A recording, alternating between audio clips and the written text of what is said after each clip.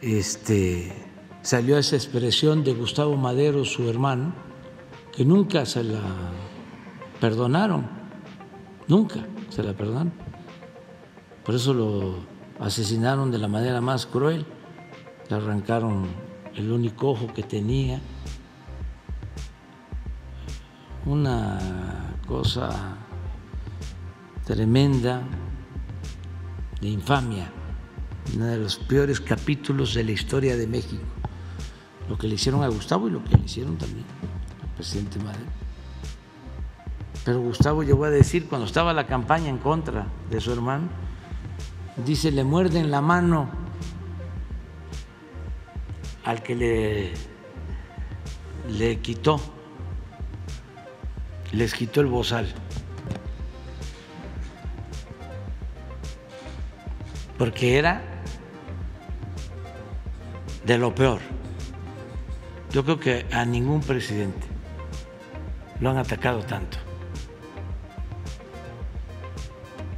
como a Francisco y Madero. Y lo mismo, periodistas e intelectuales, que luego se volvieron huertistas.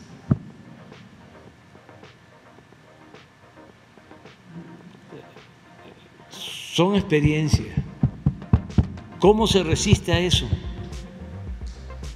¿Cómo se llevan a cabo los cambios para que no siga imperando el antiguo régimen de explotación, de injusticias, de privilegios, de corrupción. ¿Cómo? Con el pueblo.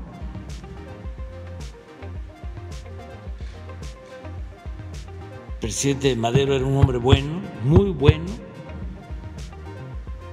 pero no pudo, no quiso hacer el acuerdo con los campesinos para eso es lo que ahora está eh, cambiando y por eso también son muy fuertes los ataques y se desesperan.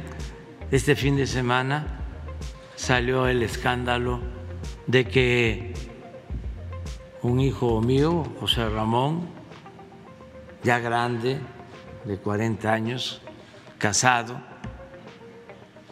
vivía en una residencia en Houston, queriendo eh, equiparar, como diciendo, son iguales, es lo mismo, ¿dónde está la austeridad? Carmen Aristegui casi este, lo comparaba con la Casa Blanca. Nada más decir, primero que en este gobierno no tienen influencia mis hijos. No se le da contrato a ningún recomendado.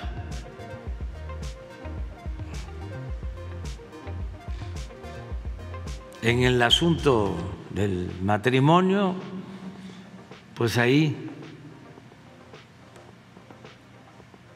está complicado meterse. Ellos se casaron y al parecer la señora tiene dinero, pero no tiene nada que ver con el gobierno ni un contrato, ni una recomendación. No somos iguales. Pero este señor Loré de Mola, pues, que es un mercenario, hizo un escándalo. Porque cree que somos iguales. No, no.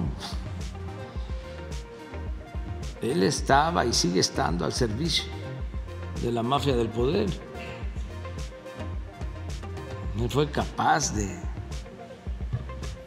participar en un montaje de televisión de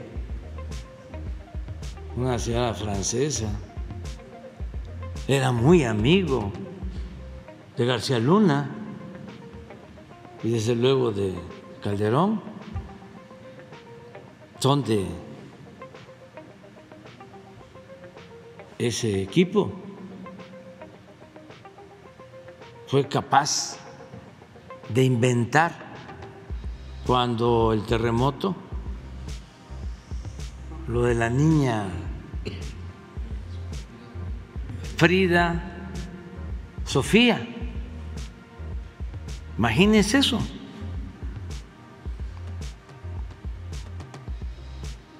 Él inventó en contubernio con malos funcionarios que ni siquiera les llamo servidores públicos, de la Secretaría de Marina.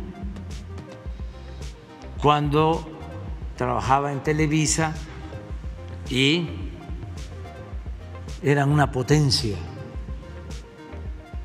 tenían casi de rodillas a todos los servidores públicos. Más broso que hasta me llama la atención porque no era así cuando lo conocí. Además, es una gente preparada. se va a cerrar la operación de Televisa con Univisión.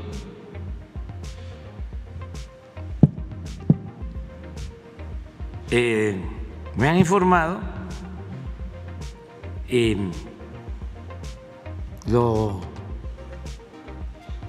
reconozco, aunque es su obligación,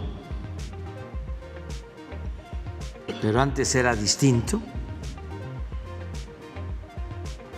van a pagar 15 mil millones de pesos de impuestos por esa operación.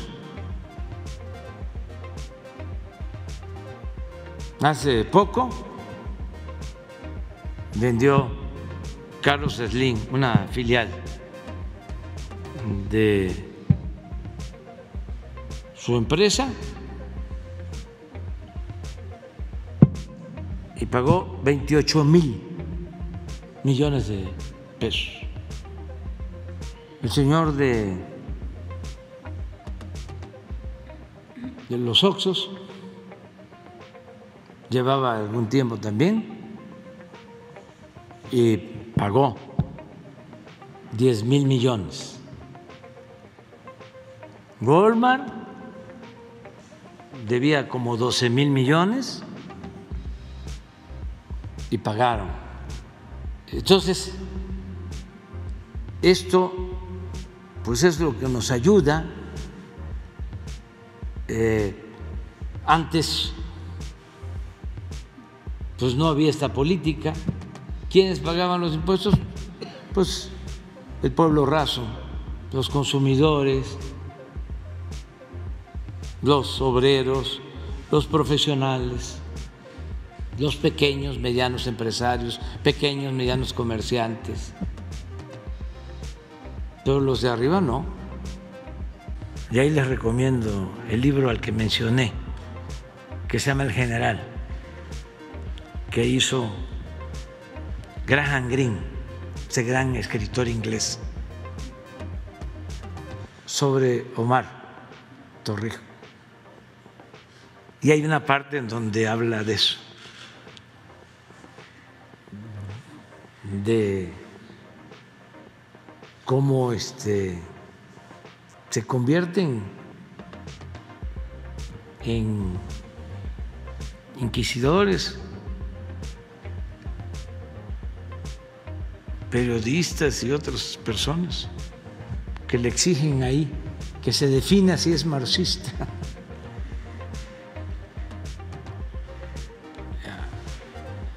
Se lo recomiendo ahí a la, con todo respeto a la canciller. Pero nos mandó una carta, Pedro, porque se hizo un escándalo. Imagínense si no existe una denuncia formal, nada más por la campaña de linchamiento encabezada por Denise, ¿cómo se llama la señora?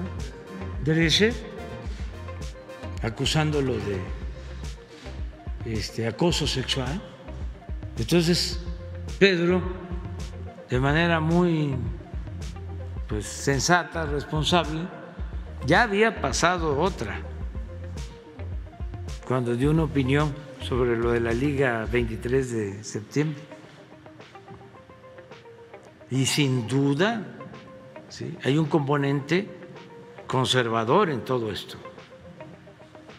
Sin duda. Entonces me envió una carta, ¿no la tienes? Y ya este vamos a buscar la forma a ver si no se enojan los conservadores. A él no le gustó a lo de De Mola, cómo lo definí, me faltó una palabra. Dije que era un periodista golpeador, mercenario, sin principios y sin ideales me faltó. Es un periodista golpeador, corrupto, eso fue lo que me faltó, mercenario, sin principios y sin ideales. Y este, pero está abierta la investigación.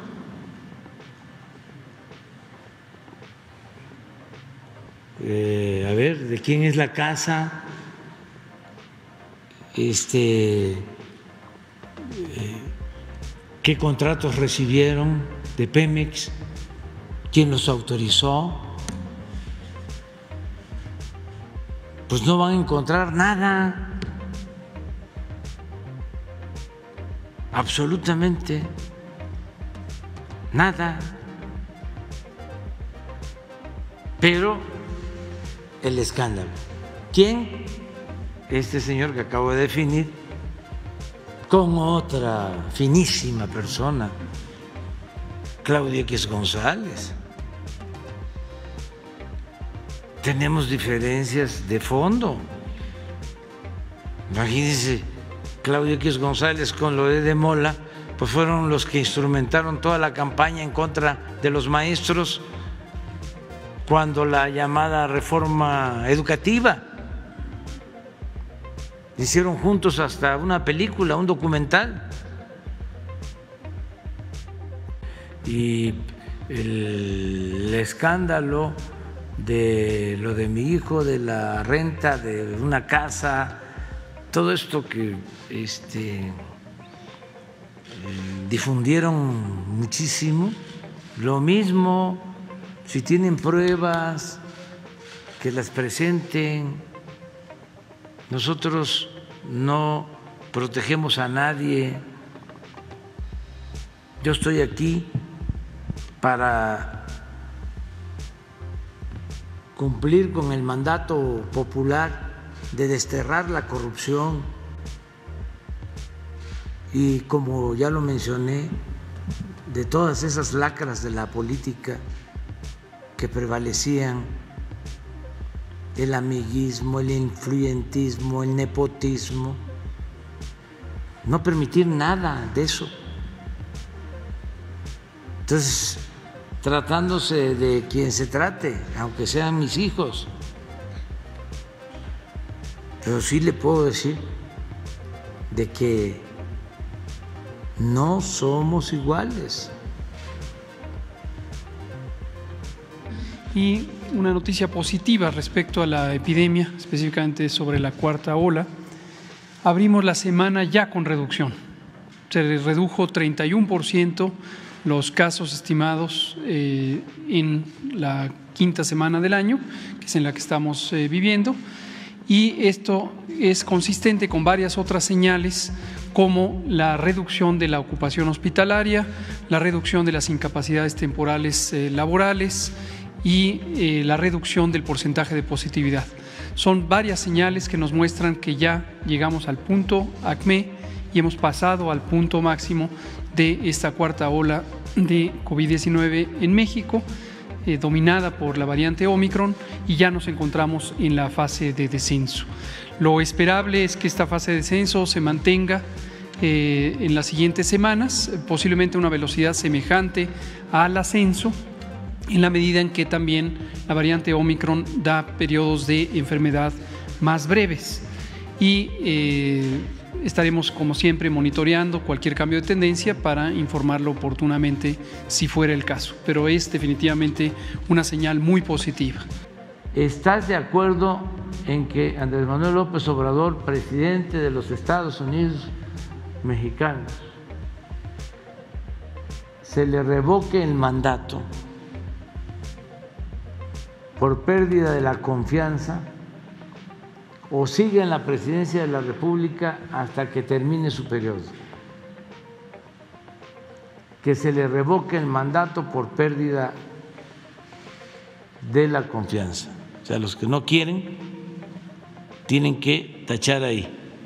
Si no cambian la pregunta. Que siga en la presidencia. Es los que quieren que yo termine el periodo. Pero esto hay que difundirlo para que los que quieren que se revoque el mandato, no se vayan a equivocar. Es información para toda la gente, porque eh, ojalá y los organismos electorales hagan campaña, ¿no? Pero van a querer que pase de noche los medios de información,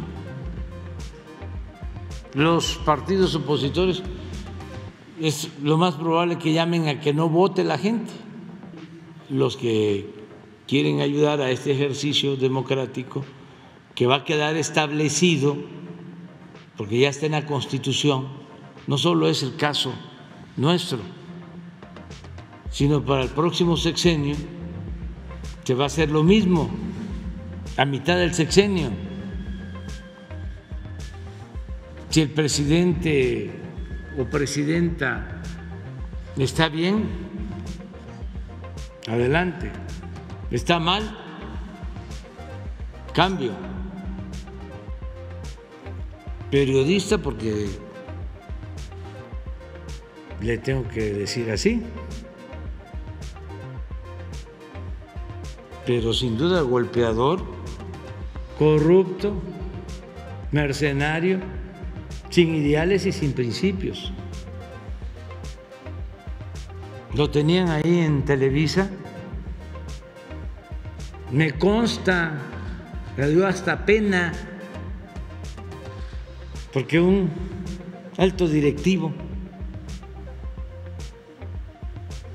de Televisa se refirió a él, a Loret, diciendo que era para Televisa. No lo puedo repetir aquí. Lo más suave es decir un golpeador que tenemos aquí, o un porro, pero no me dijo eso. Me dijo una cosa que no la puedo repetir. Un alto, alto funcionario. ¿De para qué le servía? Entonces, ahí nos vamos. O sea, esos golpes son como elogios y así otros. Tengo la ventaja de que llevo años en la lucha recibiendo golpes de todos ellos y le agradezco mucho al pueblo por su confianza.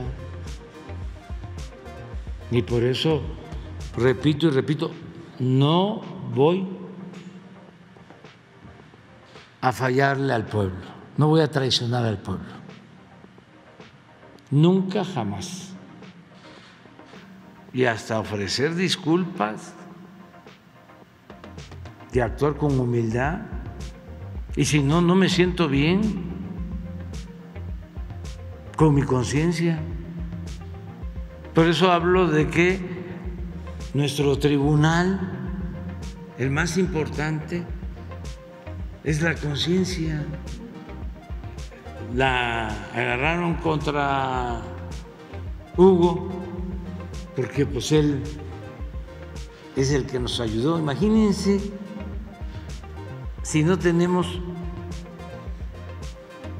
un experto, pero además con la capacidad intelectual y expositiva de Hugo. nos acaban. Pueden haber eh, hasta mejores, los hay en el gobierno, este, científicos, especialistas, pero ¿cómo explican? Y en una pandemia que tiene que ver con todos, lo fundamental es la comunicación. Entonces, la molestia de nuestros adversarios, pues es el que querían este, agarrar un pollito y le salió gallo.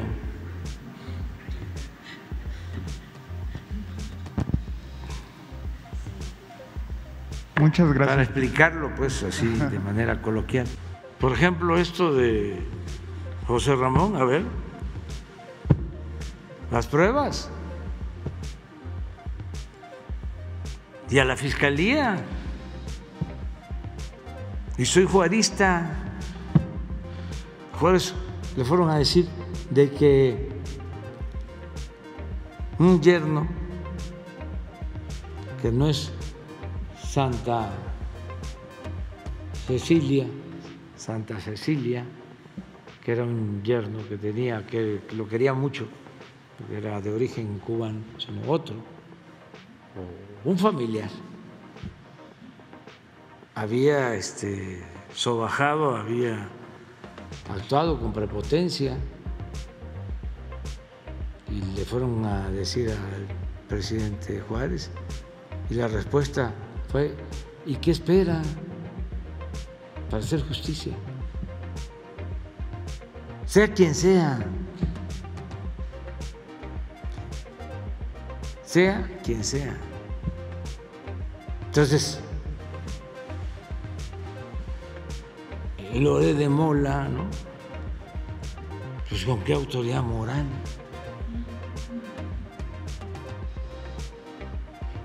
Lo repito, periodista porque le tengo que decir así. Donde se pudo, eh, cuidando la secrecía, el debido proceso y toda la parte legal y constitucional, sí se pudo revisar estos casos y podemos decirles que en ambos casos, en el de Margarito Martínez y Lourdes eh, eh, Maldonado, hay avances muy importantes eh, tanto del modus operandi, tanto de la mecánica de los hechos, y se han venido recuperando indicios y se han hecho todas las indagatorias técnicas y, jurídicas necesarias para poder ya eh, judicializar estos casos. Se espera que en muy poco, tiempo se puedan ya generar eh, las primeras órdenes de aprehensión. Evidentemente, por la naturaleza y el impacto de estos hechos, pues no se quiere también advertir a quienes cometieron estos eventos criminales. Pero sí quiero decirles, como aquí lo dijo el presidente, que, es un tema que cotidianamente nos, nos señala, nos pide cuentas igual la secretaria Rosa Isela Rodríguez, todo el gabinete, y estamos abocados bajo la política de cero impunidad frente a estos. La refinería esta frustrada de Tula, pues no se construyó porque no era esa la idea. Y pues se compró el terreno, se hizo creo que la barda, eh, sí se ejerció un presupuesto.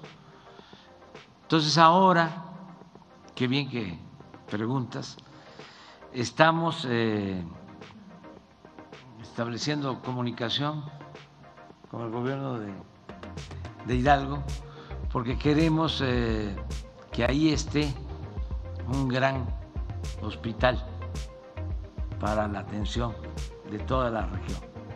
Es un compromiso construir un hospital del Seguro Social, no solo para derechohabientes, sino para población abierta, lo que se conoce como IMSS Bienestar. Entonces se va a utilizar ese terreno, ya fue a verlo el director del Seguro Social, se le va a dar uso eh, en beneficio de la población eh, a ese terreno. Eso es lo que puedo comentarte, que no se politicen los asuntos. Y que al mismo tiempo no haya protección para nadie.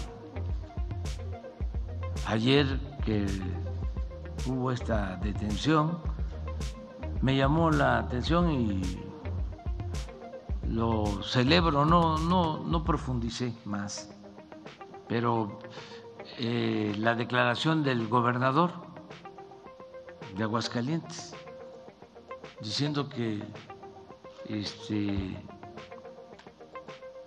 ellos estaban de acuerdo en que se investigara. El propio gobernador. Eso, este, pues es de destacarse. Por lo general, o se quedan callados o defienden.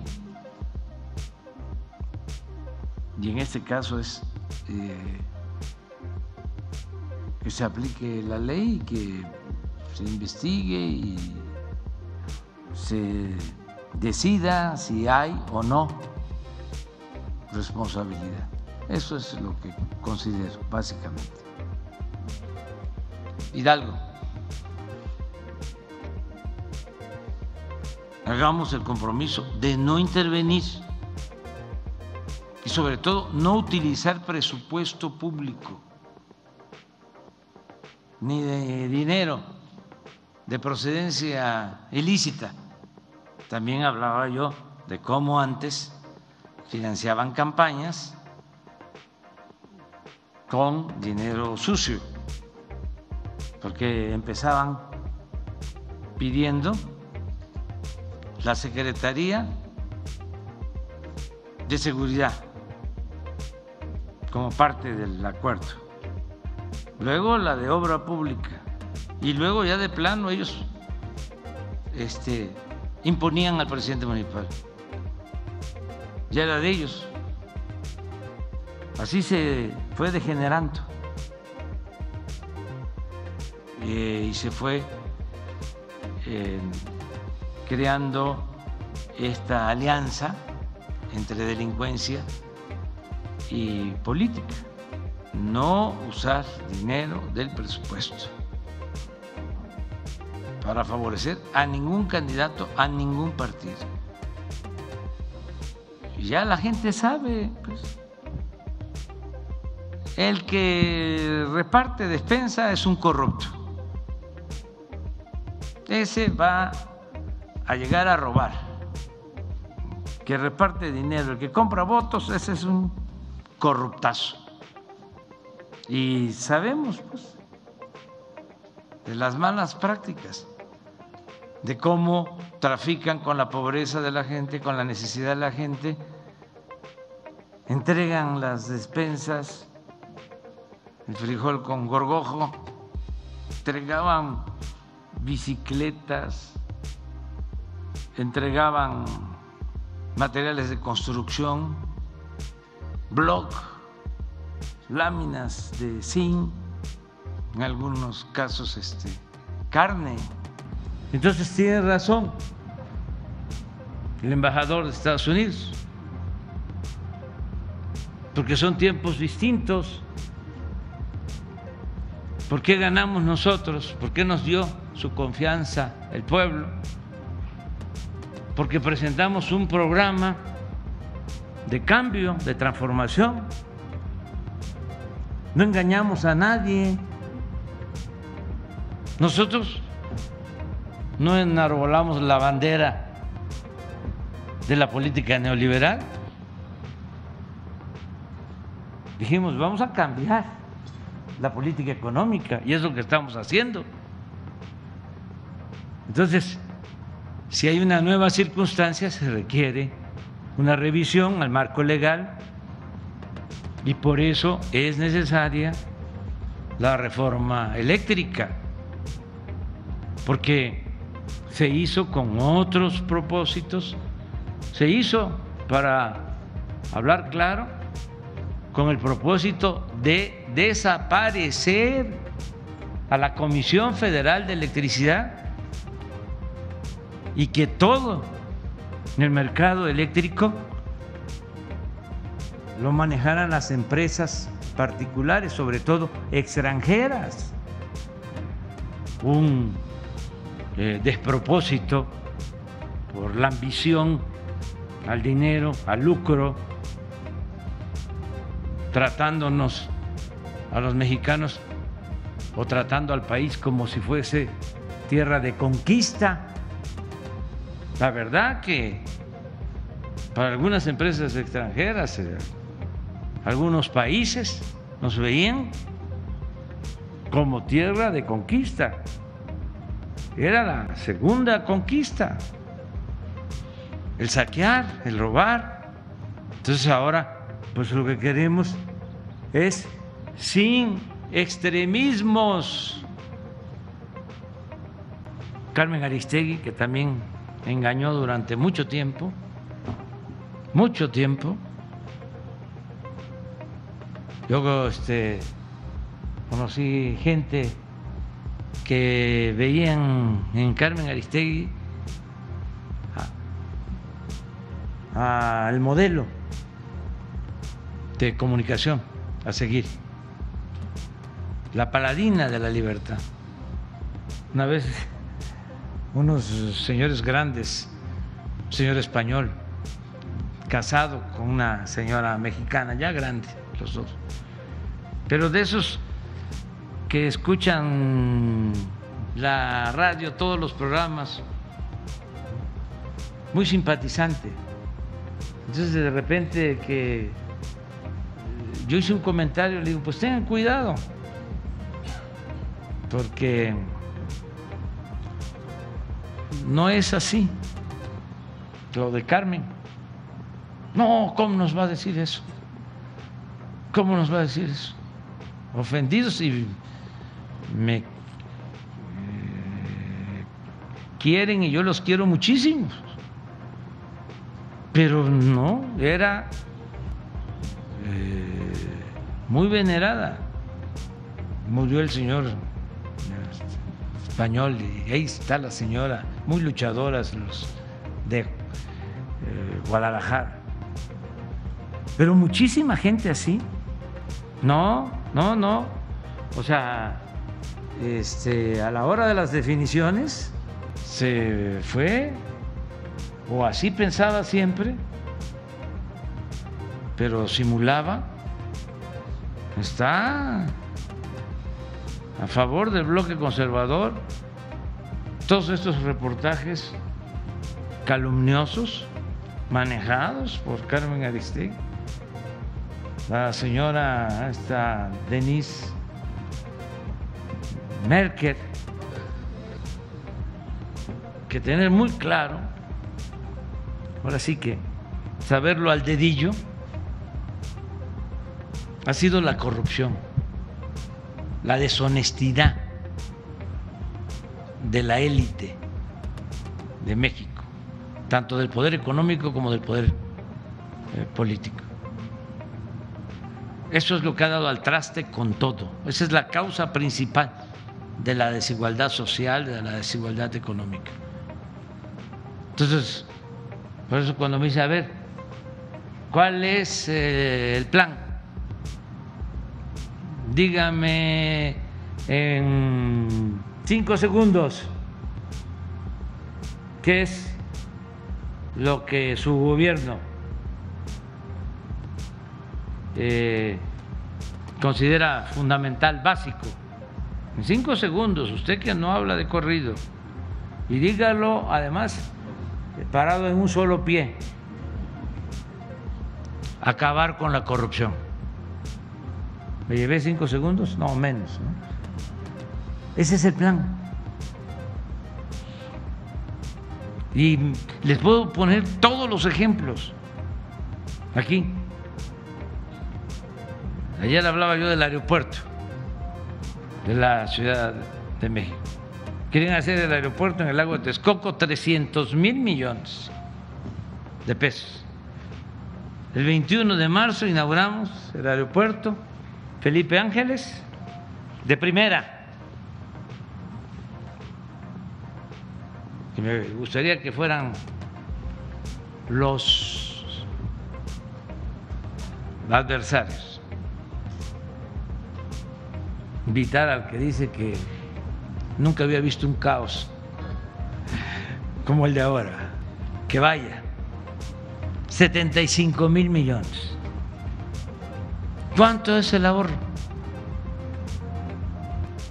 Pero que este, llamen a votar. El otro día el señor este Lozano dio un discurso, él está en contra de nosotros, abiertamente pero llamando a, votar en contra de nosotros. Pues eso es lo que tienen que hacer este, los del bloque conservador, Claudio X González, todo ese grupo, Loret, Broso, Carmen Aristegui, todo, a votar para que este se tenga otro presidente, porque es un derecho, no la guerra sucia, estar este, haciendo lo que se hacía de tiempo atrás, lo que hacía el AMPA del periodismo, ¿no? La máxima de que la calumnia cuando no mancha tizna ahora con lo de la supuesta casa de mi hijo en Houston, un escándalo. Ya este, un partido eh, presenta una denuncia a la fiscalía. Adelante. Obvio, no hay nada ilegal, nada absolutamente. Pero es el escándalo. Es tirar lodo porque no pueden de otra manera. Y ahí están medios y periodistas, intelectuales al servicio del antiguo régimen, todos. Y adelante con, con eso.